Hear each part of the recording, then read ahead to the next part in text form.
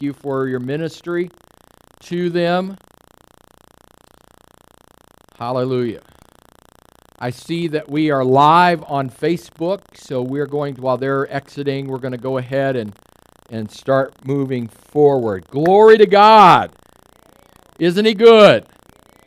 Wow, what a week we have had. Welcome to Life Church this beautiful Sunday morning. It's sunshiny. Yes, it was a little crisp out there. I got up this morning and it was cold in the house, uh, so I had to get a fire started first thing to take the chill off. And what are you laughing at me for? It was cold. Listen, I've always been hot natured, and uh, but the older I get, I'm. I know for some of you this is nothing. I'm 54 now, and all of a sudden I'm cold.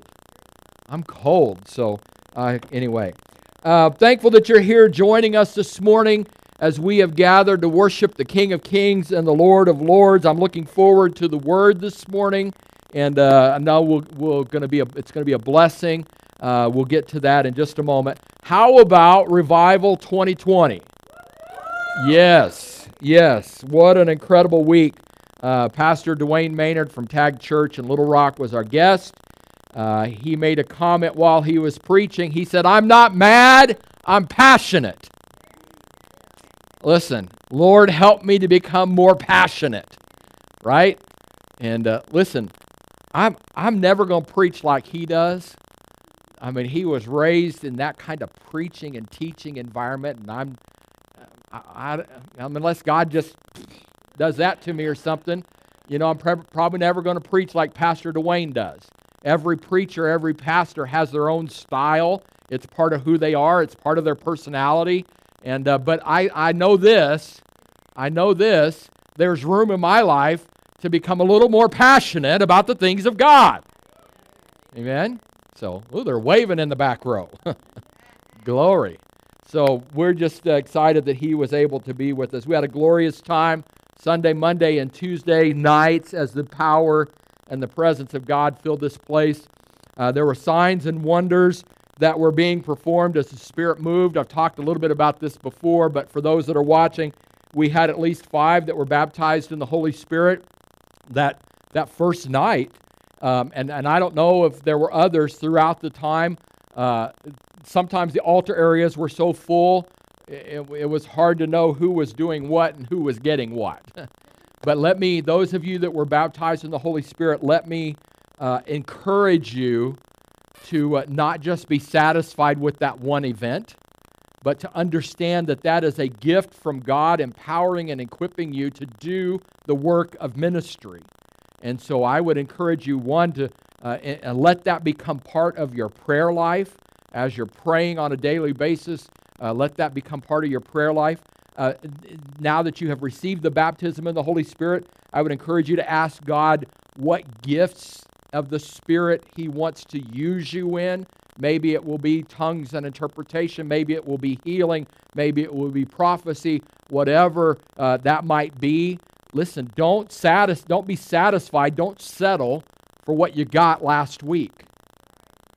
God's got something for us each and every day of our lives. If He gave it to us all at once, we couldn't contain it. It, it would overwhelm us.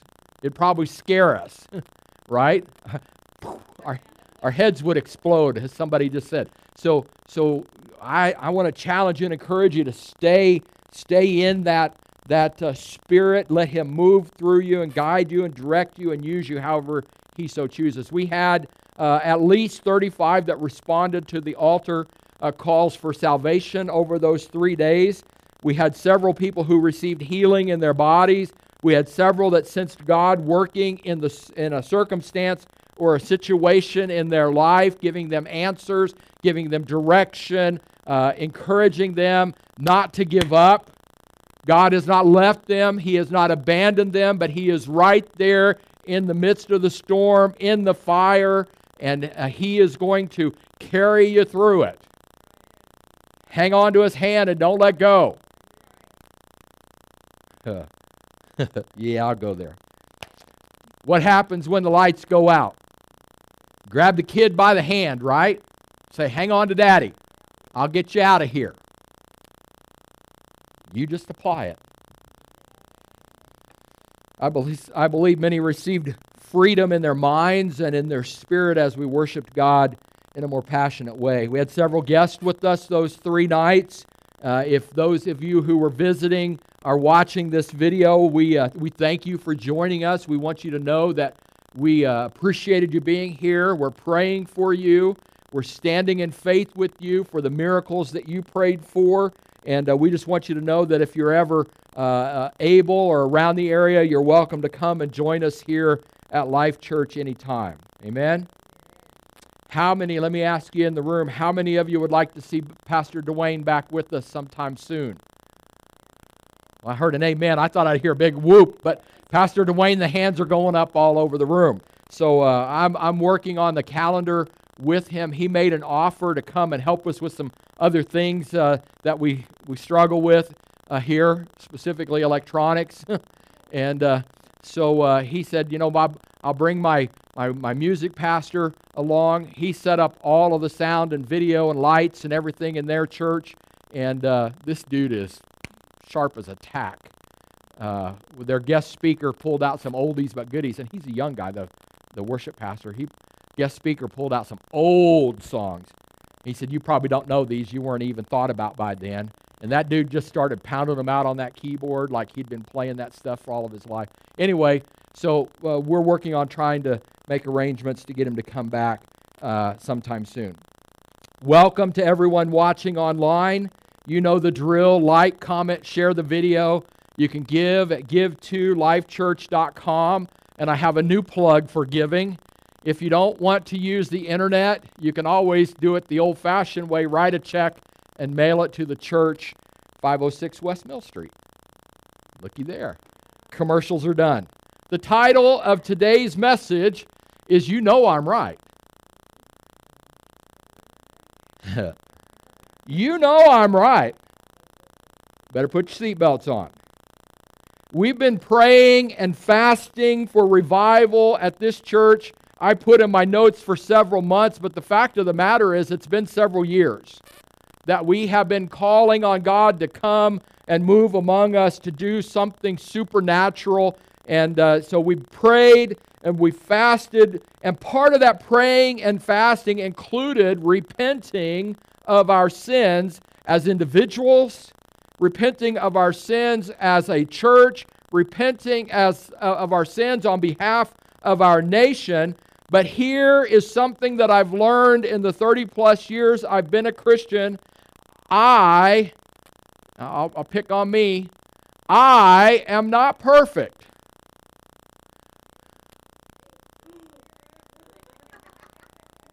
Somebody's back there like, Glory, he had a breakthrough.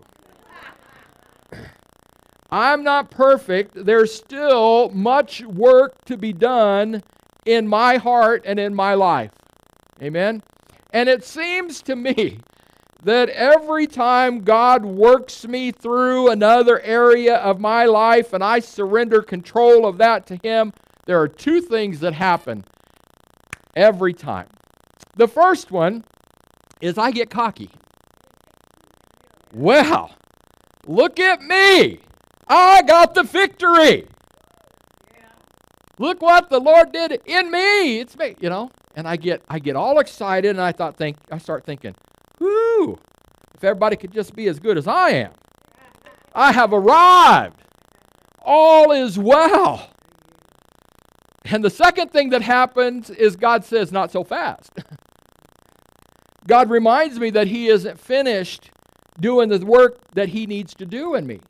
And so I'm having this uh, praise me party. Look at how good I am. Can you believe I held on to that? Why did I? And now look at me. I'm, I'm whole. I'm done. right? And God comes along and He begins to shine His exposing light into another area of my life that still needs His touch. So I want to challenge us today before we get too excited about what God did, which we're going to praise Him, we're going to remember, we're going to celebrate. But before we get too big for our britches, let me remind you that He ain't done yet. So I know we're all upbeat after these days of revival. That said, God isn't going to let us soak in that glory for long. We used to have a pastor that said, he talked about people that like to sit, soak, and sour. If you sit and soak long enough, you will eventually sour. Just let that soak in for a minute. Sit, soak, and sour. If you don't, if you don't move to that next thing that God is doing and wanting to do in you, if you don't get involved in the ministry that He's laid before you as part of the ministry of the church or some more specific ministry that He's given, if you if you just stay where you are, you will eventually sour and you'll stank. Things that sour stank. I don't want to sit, soaking sour. Before we went live, I mentioned there was a comment, a statement that I wanted to make about revival, and here it is. So I, I made this comment Wednesday night, and I need to make it again. Revival is not an event, it must become our lifestyle. Revival is not an event, it must become our lifestyle. What we have experienced these past few days was amazing and I have loved every minute of it. However, if we aren't careful, we will slip right back into the status quo, go right back to how we were before God touched us. And I don't know about you, but I don't want to go back to normal. I am no longer domesticated.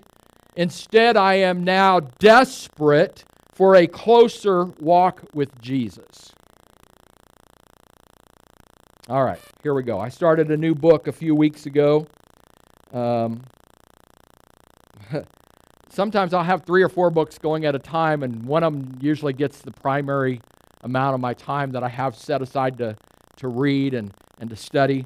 And uh, this one, when I bought it, I didn't know it was laid out this way, but this particular book is set up in a daily devotional type reading. The author tells us right up front, he said, you could read it through you know, in, in, in a week and be done with it and move on, but take your time, read a portion at a time, and allow God to work in your heart and your spirit as you begin to understand uh, what He's talking about. So, with all the craziness of life, I'd started reading this book and I was reading another one at the same time. I hadn't picked this one up for a couple of weeks. But Wednesday morning, I picked it up and I read the next portion of the reading, and what I read stung my heart as I heard God say, There is still work to do. My son, you have not arrived yet.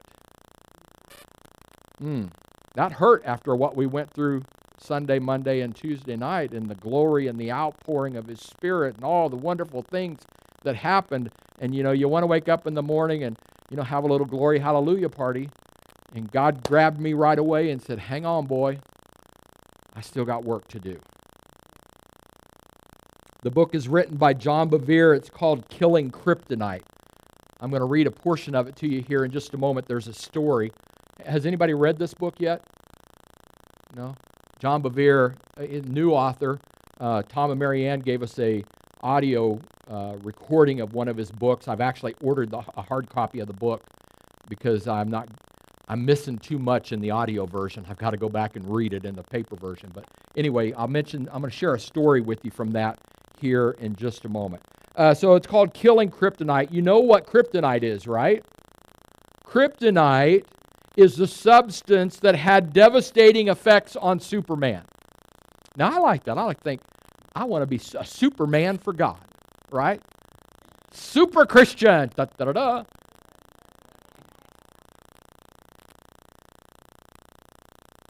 Kryptonite is a substance that was had devastating effects on Superman. Exposure to, to kryptonite caused Superman to not be able to function in his own in his superpowers. And if I remember correctly and understand correctly, long enough exposure to it would kill him. Kryptonite in the life of a believer is sin. And we're going to kill some kryptonite kryptonite in the life of believers sin. This book exposes the kryptonite and helps us discover how to kill it, how to dispose of it, how to get it out of our lives. We might hear more from this as we go along. I don't know, but today's message is, was triggered by one passage of Scripture, James chapter 4, which I'll read to you here in just a moment, and a story that was shared in the book. So let me just give you a warning. Um, it, probably going to step on your toes. It stepped on mine. I believe that God has a warning for us this morning, and the warning was presented through a story in the book. I'll read that to you in a minute. Let me share with you the text passage. It's scripture we've heard from before. I've preached it from this pulpit before. I preached through the whole book of James not too terrible long ago. And uh, but we need to see this again fresh uh, in our hearts and in our lives, and we need to know that we know that we're being careful to give all that we are to God. So find James chapter 4. Some of you are probably already there. I'm in my new uh, Bible, the New Living Translation, James chapter 4. Sometimes the pages still stick together. Makes it hard for me to find stuff. Here we go. And I'm going to start reading in verse 2 and, uh, and read through verse 9. Okay? And uh, so follow along with me. I'm reading from New Living Translation. James writes, the, the, the, the, the title for this chapter is Drawing Close to God. And, and understand those titles weren't put there when they wrote this, when James wrote this letter, but as we've come back and put them in this type of a book format and broken them down, we've, we've added some titles or some subtitles about what's coming in this portion. So that's here, drawing closer to God. Number uh, James 4, verse 2. You want what you don't have, so you scheme and kill to get it. You are jealous of what others have, but you can't get it. So you fight and you wage war to take it away from them. Now, let me just take a pit stop and say, man, if this doesn't sound like our world right now, I don't know what does. Now, remember, this was written to Christians. I'll say that again here in just a moment, but this is being written to people in the church.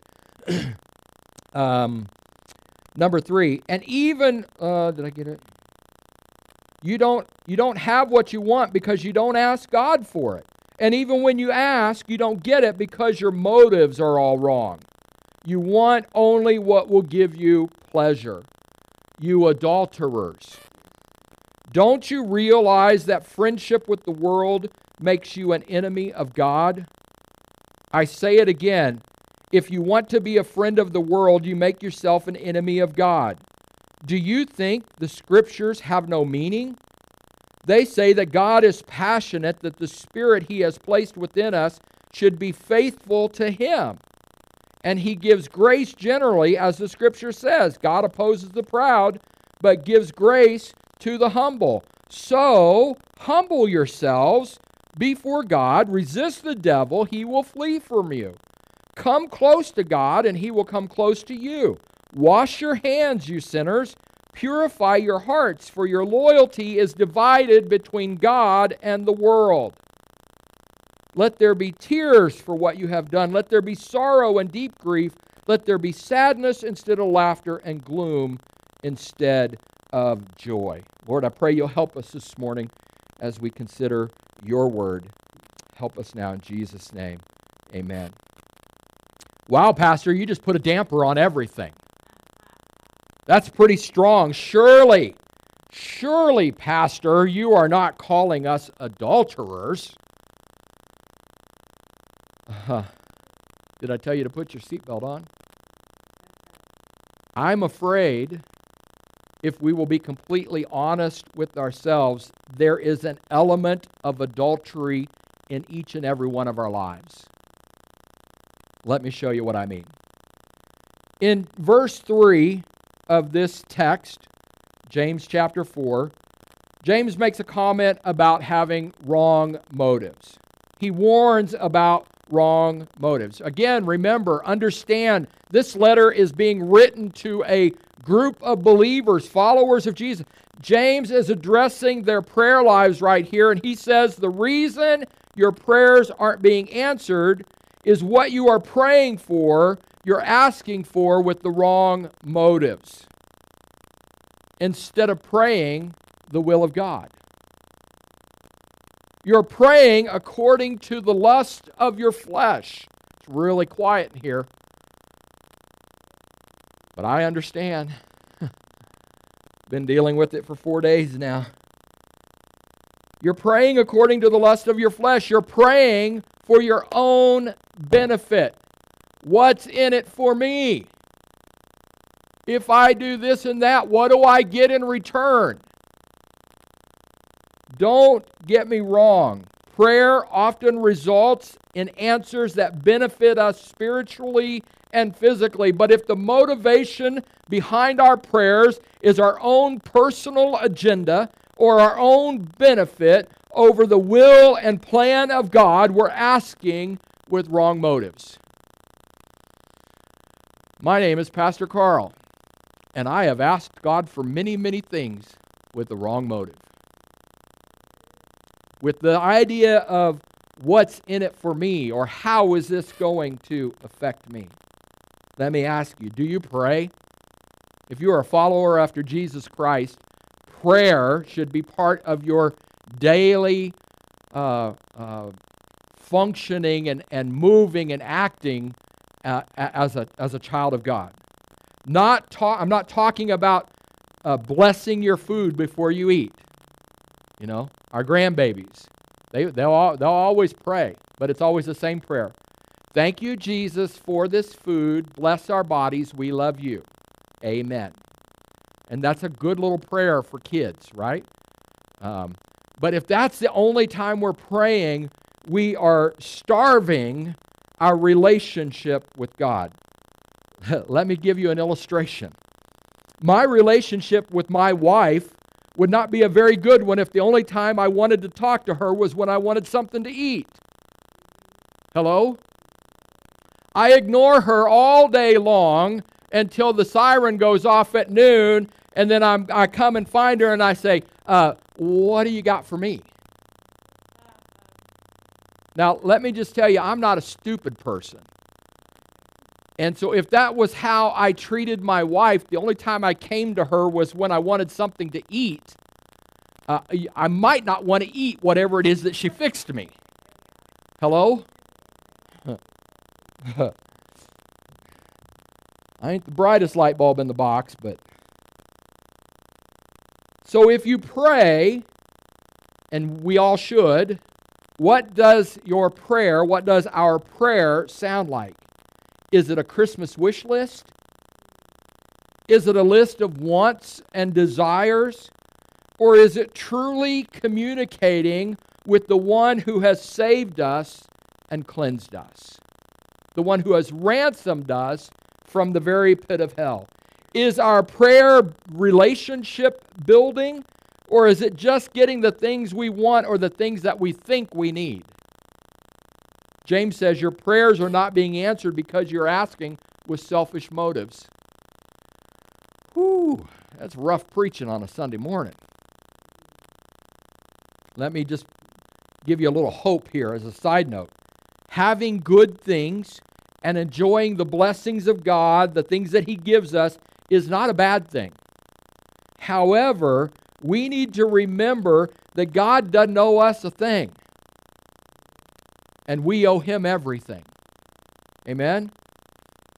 So when you, excuse me, when you pray, make sure your motives are right. Then James leads into this statement that is quite offensive, to be quite honest. I mean, if somebody walked up to me and said, You adulterer, I'd be like, You don't know what you're talking about. Who do you think you are talking to me like that? You know? Right? I'm not an adulterer. I'm not having a relationship with somebody outside of my marriage. I am 100% on fire, committed to my wife, have been for almost 33 years now. You know what? Nothing that anybody else has to offer is of interest to me. I love her. I've invested 30 years of my life into my relationship with her, and nothing is worth giving that up.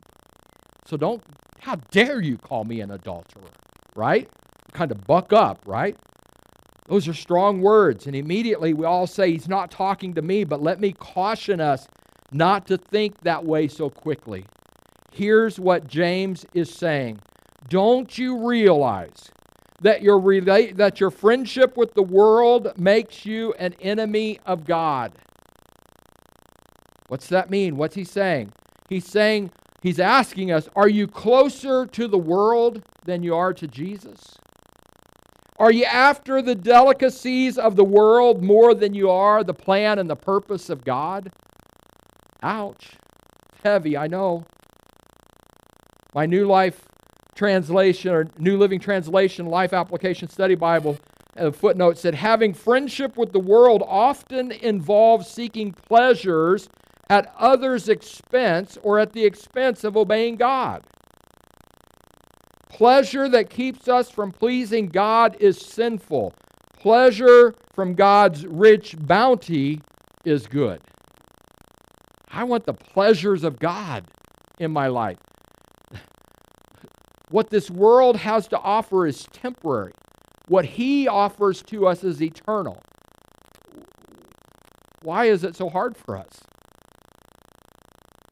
1 John chapter 2 verse 16 says this, New American Standard Translation, for all that for all that is in the world, the lust of the flesh, the lust of the eyes, the boastful pride of life is not from the Father, but is from the world.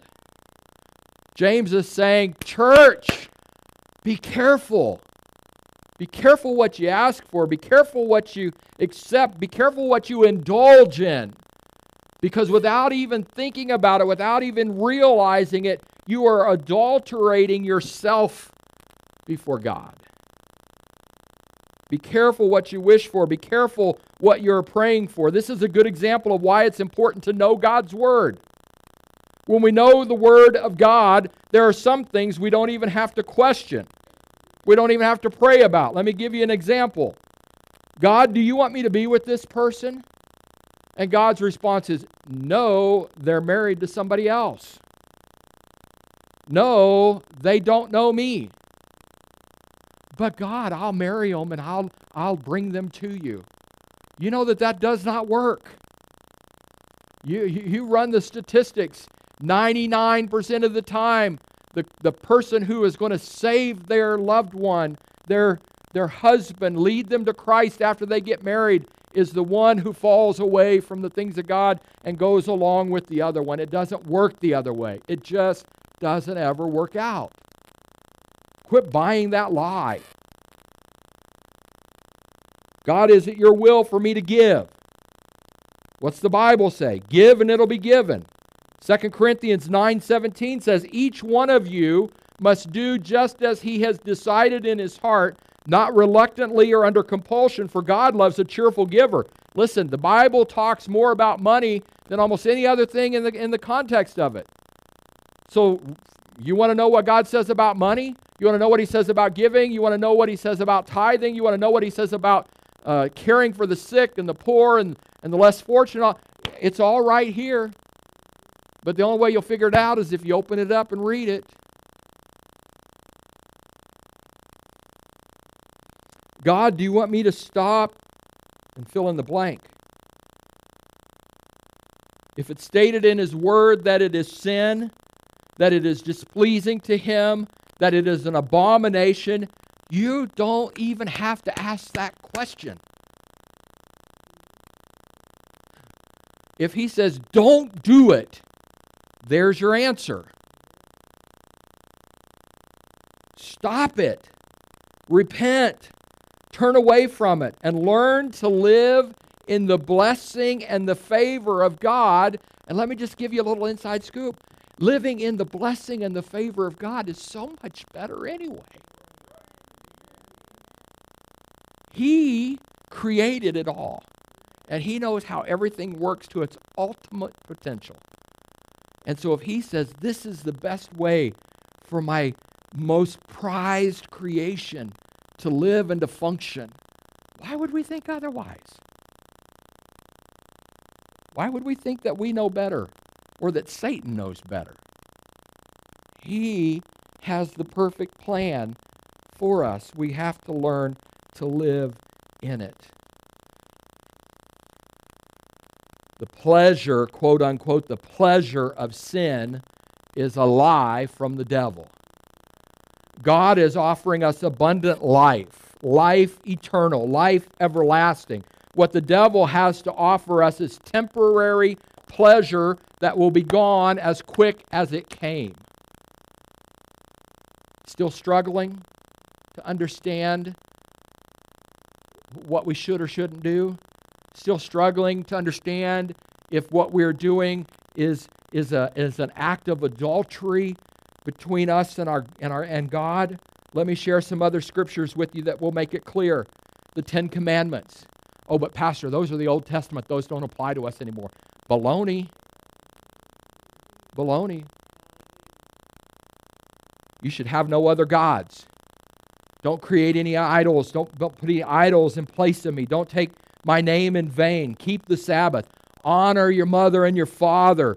Don't murder. Don't commit adultery. Don't steal. Don't lie. Don't covet. Those are pretty clear cut things, you know it? And the fact of the matter, if we'll do those 10 things, it pretty well covers everything. Galatians 5:19. I'm going to give you a few scriptures here. If you got your uh, your notes there, your bulletin, you, you can jot down the last half of the reference. You need to come back and look at these. But here's some more uh, uh, examples of what sin is in God's eyes. The point is to make it very crystal clear to us what is acceptable and what is not. Galatians 5 19 through 20. When you follow the desires of your sinful nature, the results are very clear sexual immorality, impurity, lustful pleasures, idolatry, sorcery, hostility, quarreling, jealous, uh, jealousy, outburst of anguish, anger, selfish ambition, dissension, division, envy, drunkenness, wild parties, and every other sin like these. Let me tell you again, as I have before, that anyone living that sort of life will not inherit the kingdom of God. What part of that is so hard to understand? Our world struggles with it. Well, I don't like that one, so we're just going to throw it away. It don't work that way. Colossians 3 5 through 10, New Living Translation. So put to death the sinful earthly things lurking within you. Have nothing to do with sexual immorality, impurity, lust, and evil desires. Don't be greedy, for a greedy person is an idolater, worshiping the things of this world.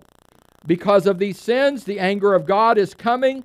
You used to do these things when your life was still part of this world, but now is the time to get rid of the rage and the anger, the malice, malice, malicious behavior, the slander, the dirty language. Don't lie to each other, for you have stripped off your old sinful nature and all its wicked deeds. Put on your new nature and be renewed in your as you learn to know your creator and to become like him. Listen, Pastor Dwayne would say something in a Pentecostal church that'd have some people excited. Put off that old stuff. He's given us a brand new nature. I got I got a little a little dressed up today. Right? One of the guys said, Why man in black? Yeah. I'm mourning. I'm mourning the the the domesticated church being dead and celebrating a, the desperate church coming to life. But Listen, I, I, got I got clean. I took a shower this morning. I did brush my teeth, put some cologne on, put on my slacks, my nice dress shoes. You know, try, try to, and the last thing I'm going to do is go roll in the mud. That's exactly what we do as believers when we come to Christ and we repent and we accept His forgiveness and His and the new creation, the new nature that He gives us, and then we go back to the old stuff. We take this new creation in Christ and go roll in the mud. It just doesn't make sense. And yet we do it. 1 Corinthians 6, 9 and 10. Don't you realize that those who do wrong will not inherit the kingdom of God? Do not fool yourself. Those who indulge in sexual sin and worship idols and commit adultery, what are we talking about? We think adultery, we automatically go to sexual adultery. But he's making a point here who commit adultery, or are male prostitutes, or practice homosexuality, or are thieves, or greedy people, or drunkards, or abusive, or cheat people, none of these will inherit the kingdom of God. Now, there was one in there that people like, well, the Bible doesn't say anything about that. There you go. Unless we grab a hold of just that one and say, you know, you shouldn't be doing that, let's not forget that there's many others listed there that unfortunately sometimes we're guilty of. Mark 7, 21 to 23. For from within, out of a person's heart, come evil thoughts, sexual immorality. Listen, he keeps hitting on that.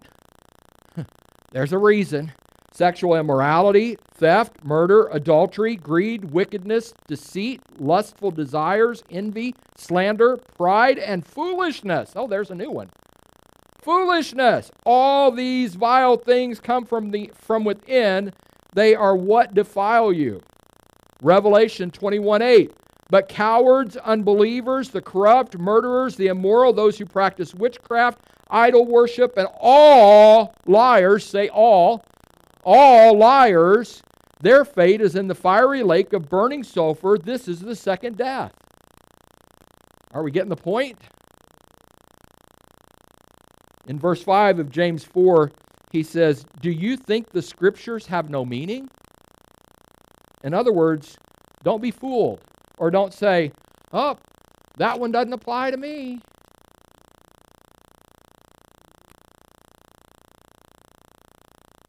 God's word is truth.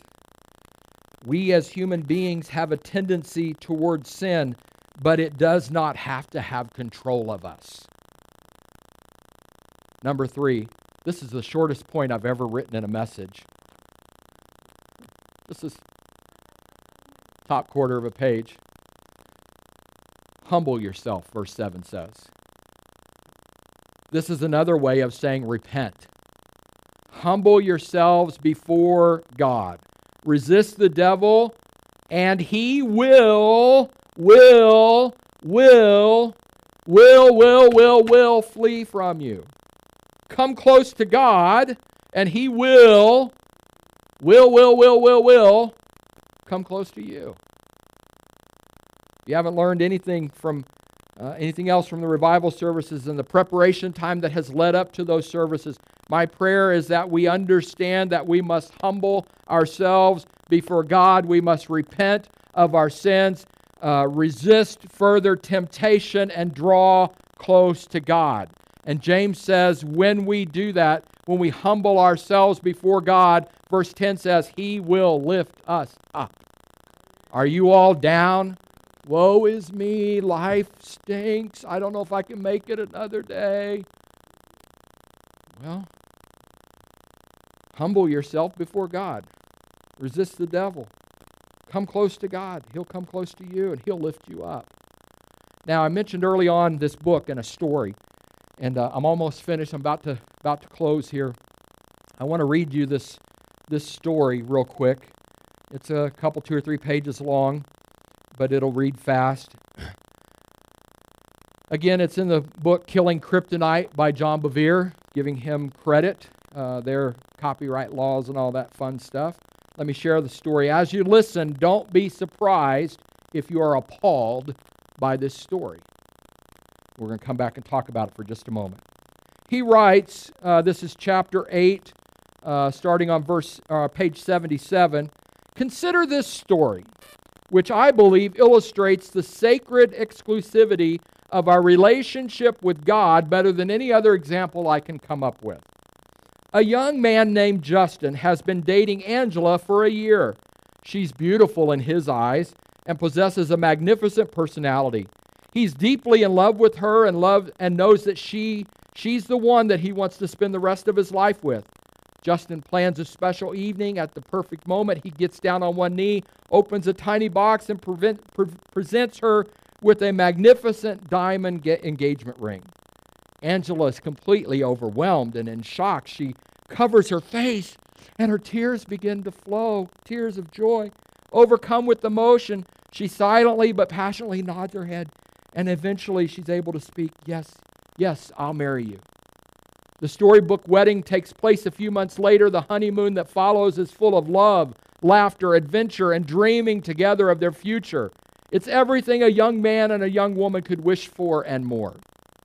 Time passes. Justin uh, happily discovers that Angela is more amazing than he ever thought. She likes adventure, loves having fun, and has a great sense of humor. She's great with his family and gets along with most everyone. She's smart, she's witty, always seems to be one step ahead of him. She's creative, artistic, and imaginative. Justin's in awe by the beautiful touches that she constantly adds to their home. She's a better sh- chef than him, and a wonderful bonus, she's neat and organized. Well, glory. Needless to say, he's enjoying her contribution to their newly formed union. Their future looks very bright. A few months into their, re- into their marriage, once they've settled into a rhythm of married life, one evening Justin returns home from work. He anticipates finding Angela waiting for what's become a traditional embrace and kiss. He searches for her. First the family room, then the kitchen, then the backyard, finally the bedroom where he finds her. It appears she's preparing to go out. Romantic music fills the room, along with what has become a familiar scent of her perfume. To Justin's surprise, she's all made up and slipping into a beautiful outfit, one that she's one that she had worn in the past when he took her on the to her favorite restaurant. Her back faces him so she hasn't seen her husband walk into the room and Justin panics. This is where all the guys can relate. did I did we have dinner plans for tonight that I forgot about? Or should I have stopped by the florist and picked up some flowers, some, a bouquet of roses? He breaks the silence with a cheerful he breaks the silence with a cheerful but nervous greeting. Hey, hey, honey. A little startled, she happily responds, "Oh, hey, babe." He opens with the confession, oh, "Okay, I guess I've forgotten something. Did we have plans for tonight?" She immediately responds, "No, baby." A bit confused, he now rapid, rapidly uh, assessing the situation. He concludes that she's surprising him. He thinks it must be a special evening at home or it's a surprise out on the town. By now, she's completely dressed, and in her final stages of preparing for the evening, he compliments her. Wow, wow, you look gorgeous. Well, thanks, darling. Justin, still without a clue as to where this is headed, asks, Do you want me to dress up too? Angela, now a bit confused, responds, Well, you can if you want to. Justin, still trying to make sense of the situation, counters, Well, I need to look as good as you do.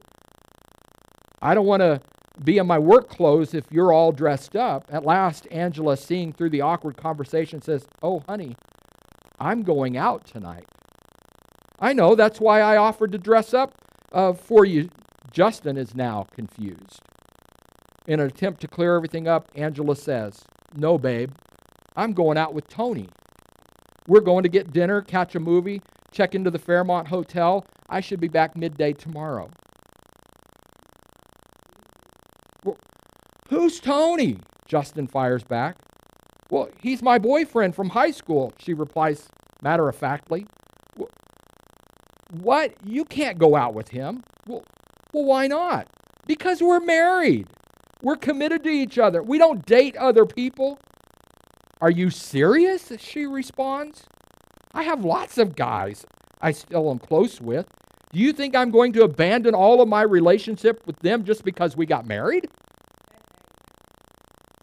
Yes, that's what married people do. They give themselves only and completely to the one they're married to, Justin answers, with hurt and anger in his voice. Hold on, honey, Angela says, in an attempt to bring clarity to and some calm to their first major disagreement. You're my favorite. I spend the majority of my time with you. I love you more than any of my old boyfriends, but you really can't expect me not to see them any longer. I've been close with them for years. I still love them, and I want to enjoy some time with them. What's wrong with that? Now, listen, we kind of chuckling and stuff, but it's serious. We would never find this acceptable. And yet, the truth be told, too many times, far too often, that is exactly how we treat God. That's exactly how we act in our relationship with Him. And James says, when we do, we are idolaters, adulterers in the sight of God. Now, I don't know about you, but I don't ever want to be uh, found guilty of two timing God. Lord, forgive me if I've placed things ahead of you. Lord, forgive me if I've lusted after temporary pleasures when I have the lover of my soul waiting for me. Lord, forgive me when I've cheapened my relationship with you by giving your time to things of this world. As I was writing those last few statements there, asking forgiveness for committing adultery against my God, I was reminded of a, of a song from the 1980s, back when I first got saved. How many of you remember a Christian artist named Larnelle Harris? Just a few, the old timers, the ones that have been around a while. I'm there. Hey, hey uh, uh, it, it, stay focused here. The song focuses on not spending time in prayer with the Lord. But I feel like God was saying it's not spending time with me as, uh, uh, as much as, as you say that you are committed to me. It's about not, not loving me and caring for me and being committed to our relationship the way that you have the world perceive that you are.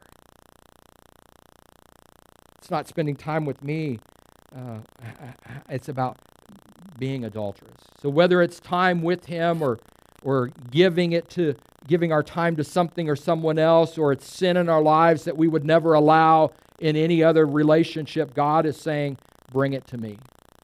Bring that, whatever it is that has become your second lover, the one that you would prefer to spend time with over me. Bring that to me. Come back to me. Press into me. Repent and turn away from that, and I will once again receive you into my arms. You say, Pastor, we just went through all of this time of praying and fasting and altar times in the revival when it was packed full and, and, and you and, and, and now you're saying you think there's still stuff in us that we haven't surrendered. Mm-hmm. And if we don't deal with it, we will be deceived into thinking that all is well. And that we just go on about like life is like nothing ever happened. And the fact of the matter is, we're deceived and we're foolish to think that we're not guilty. And so I'm going to have Eli start this song here in just a minute. Um, I, I would encourage you to find a place to pray just a few minutes. Take just take a little bit of time. Uh, uh, he's worthy of it. Our relationship with him is worthy of it. Might be there in your seat. Maybe it's here in the altar. And as the song plays, ask him to forgive you of allowing things to come ahead of him, of things to become more important in your life than your relationship with him. Make that fresh commitment to him. One last thing, James chapter 4, verse 17 says, Remember, it is sin to know what you ought to do and then not to do it. So as I begin to pray, as I begin to, I'm, I'm conflicted here. I, I wanted to read this passage from another translation and um, from the message let me just let me just say this. If you're still not getting it, I would I would challenge you and encourage you to read James chapter four in the message, and uh, and let him bring some clarification. I, I think we're probably all at a place in our walk with him that that we're getting it. But just in case, uh, so as the music begins to play, as I pray and the music begins to pray, play, the altars will be open, and I would challenge you to come and find a place to make fresh commitment to Him. Maybe you need to give your life to Jesus and be born again. Maybe it's uh, He's showing you something that is stealing you away from Him. Whatever the reason is, I pray. My prayer is that you will come and meet with Him. Sit at His feet. Pour out your heart like the woman uh, who poured out her tears and pulled, poured the anointing oil that Pastor Dwayne talked about during the revival. Come and sit at his feet, wait upon him, talk to him for a minute.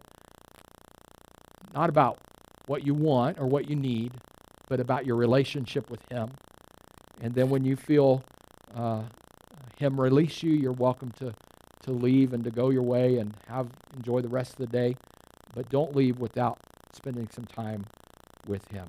Lord, I thank you. You can go ahead and start that, Eli. Lord, I thank you for your word today. Lord, I confess my sins to you, and I pray that you will forgive me, God, of putting things ahead of you and, uh, Lord, giving them priority over you. Lord, as we begin to come and gather in this altar and spend time, I pray you'll meet with each one of us and, uh, Lord, strengthen our relationship as we make fresh commitment to you today. In Jesus' name, amen.